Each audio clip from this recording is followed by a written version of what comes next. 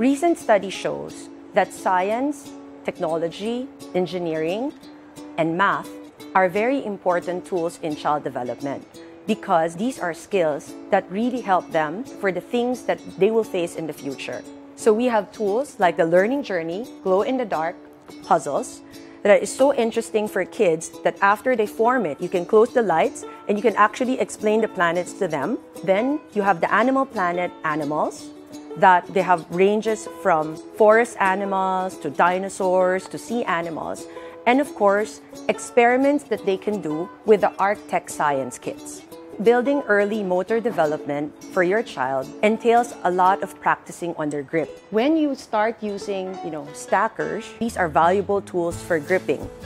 But what encourages the child is a lot of cause and effect. So when you start introducing musical instruments where they're able to use their grip and at the same time receive the effect of a sound or melody, then it helps the child understand and like to do the grasping better.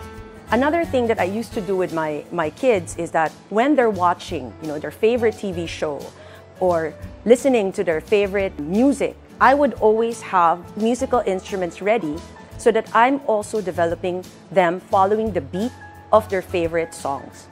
So we at Ogalala wanted to be at the forefront of introducing tools that make kids love science early on in their lives.